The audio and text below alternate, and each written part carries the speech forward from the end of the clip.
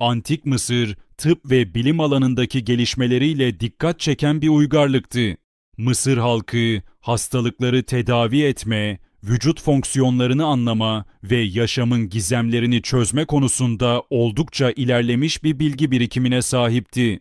Bu bağlamda hamilelik testi olarak kullanılan yöntemler de Mısır tıbbının ve kültürel uygulamalarının ilginç bir yönünü oluşturur.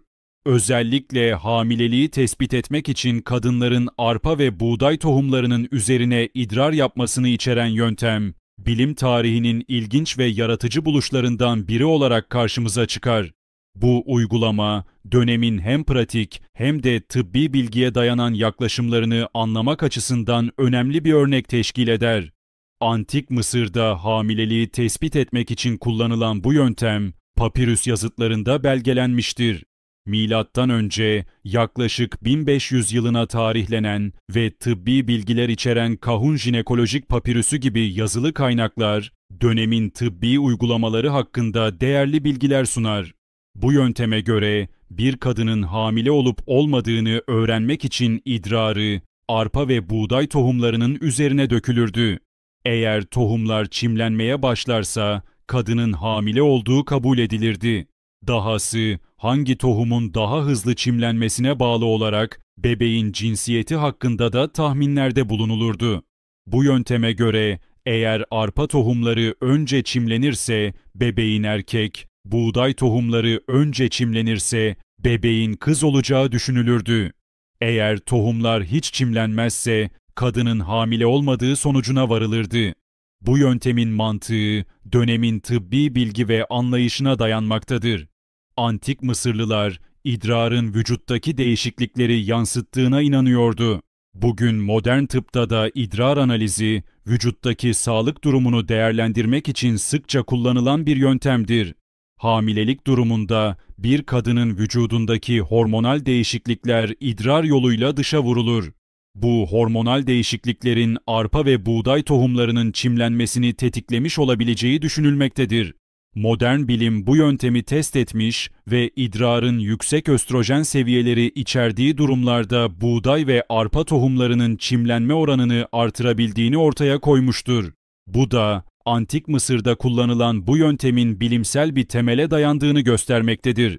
Antik Mısır'da bu yöntemin nasıl bir ortamda uygulandığını hayal etmek, o dönemin kültürel ve sosyal yapısını anlamaya yardımcı olabilir. Mısırlılar günlük yaşamlarında tarımsal ürünlerin önemine büyük değer verirlerdi. Nil Nehri'nin sunduğu verimli topraklar sayesinde tarım, Mısır'ın ekonomik ve toplumsal yapısının merkezinde yer alıyordu. Arpa ve buğday yalnızca beslenme açısından değil, aynı zamanda dini ve ritüel uygulamalarda da önemli bir yere sahipti. Bu nedenle Hamilelik testi için bu tohumların kullanılması bir yandan tıbbi bir pratik olarak değerlendirilebilirken diğer yandan da sembolik bir anlam taşıyor olabilir. Tohumlar doğurganlık ve yaşamın başlangıcını temsil ederken kadının idrarı yaşamı şekillendiren ve değiştiren bir unsur olarak görülmüş olabilir. Bu testin kullanımının yanı sıra Antik Mısır'daki diğer tıbbi uygulamalar da dikkate değerdir. Mısırlılar bitkisel ilaçlar, cerrahi teknikler ve fiziksel tedaviler gibi birçok farklı yöntemi kullanarak hastalıkları tedavi etmeye çalışmışlardır. Papirüslerde yer alan bilgiler, bu uygarlığın kadın sağlığına özel bir önem verdiğini ortaya koymaktadır. Örneğin, doğum kontrol yöntemleri, doğum sancılarını hafifletmek için kullanılan bitkisel ilaçlar ve doğum sonrası bakım gibi konulara dair bilgiler mevcuttur. Hamilelik testi bu bütünsel sağlık anlayışının bir parçası olarak değerlendirilebilir.